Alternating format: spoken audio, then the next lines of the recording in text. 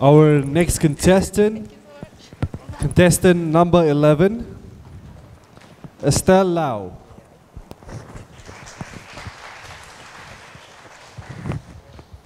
Dual SIM. Um, yeah, here. Dual SIM, Estelle Lau.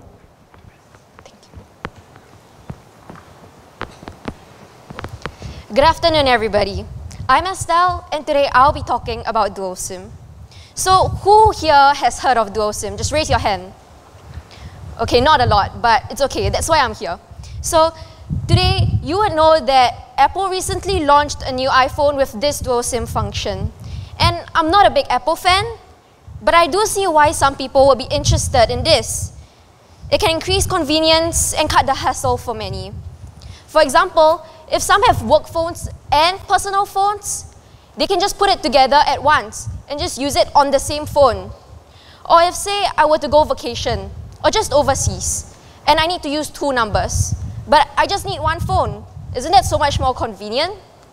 And then, while I was thinking about this, I suddenly thought, wouldn't it be cool if we, ourselves, as humans, Homo sapiens, had this function, dual SIM? So that sounds crazy, right? But it's okay, just stay with me. So somehow we are a two in one person. Like, I have one body, and I'm just basically like everyone else. I get happy when things go right, and I get angry when things don't. I can get annoyed, and I can get troubled. But it's okay, because I have dual SIM. And if I had a dual SIM in me, that means that I could detach, reflect, and learn. So let's just say I get into an argument with my mother. Everyone can relate, right? All been through that. So I go to bed an unhappy child thinking, today was not a good day. But then at this moment, the sim number two in me can detach and think from a very rational and very neutral point. Then it will consider the factors like my feelings, the circumstances, my mother's point of view. And then it will come back to sim number one, which is what everyone sees, and tells me, Estelle, I think you are wrong. So this help me, helps me acknowledge my mistakes, my flaws, and grow from all these op opportunities and experiences. Then I'm not saying that we should turn bipolar. No, we shouldn't turn cold-hearted.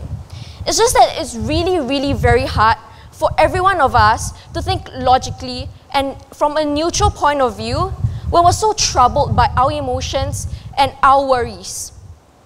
So this means that a lot of times mistakes are made and unfortunately regrets are formed. Dual SIM enables me to go about my daily life and to learn from very, very everyday experiences to become a better person every day. It also helps me rest and relax. Just like those who use the dual SIM function in the phone, they would be convenient if they went on a vacation. And if, say, I didn't want to leave Singapore, I didn't want to leave my daily life, but then again, I'm so troubled by my worries and the burdens and the duties that I have that I just want to blank out for a moment. But I can't do that, right? Because I have commitments. So what then do I do?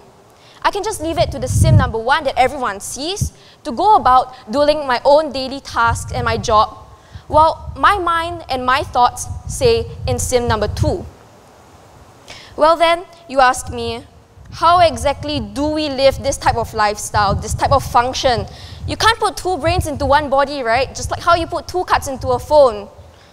Well, we can't put two brains into one body. That's definite, at least for now. But we can instill two habits into us that we can do every day. Simple. Reflection and strength. Firstly, reflection. After a tiring day, as we lay down on our bed, besides worrying about the monsters underneath, we can just think about interesting or curious experiences that happen throughout the day. And then we could think and reflect upon what we said, what we did, and what are the very thoughts that we had at that point of time. Then there's three questions to ask yourself. Is it morally right? Was I considering everyone's interests and feelings at that point of time? If I went back to that very second, what would have I done differently? They say you do what you do upon others, what you would like others to do upon to you. By reflecting, this helps us understand ourselves. What would we like others to do upon to us? And that's how we grow. And that's how we understand what should I do when I run into this type of situation again. Secondly is strength. Strengths help us to acknowledge our mistakes and helps us to decide on the case, like in the case I referred to, I should probably apologize to my mom.